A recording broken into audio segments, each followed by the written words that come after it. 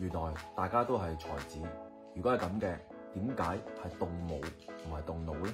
余美前大律師男友林作早前因為一句抄我一百萬，激嬲咗百億富三代鍾培生，搞到鍾培生要下戰書，要求同林作喺擂台上隻抽。今晚事件再有新發展，林作喺社交平台上面發帖文同埋貼片，建議兩個人辯論分高下。佢就喺片入面話：我而家 propose 我揾港台視點三十一啊，我同佢 pitch，我哋两个上去做一场辩论。代表香港人嘅价值又点止三十万、一百万呢？揾埋图片同埋麦玲玲嚟做谈判嘉宾，唔係評判嘉宾，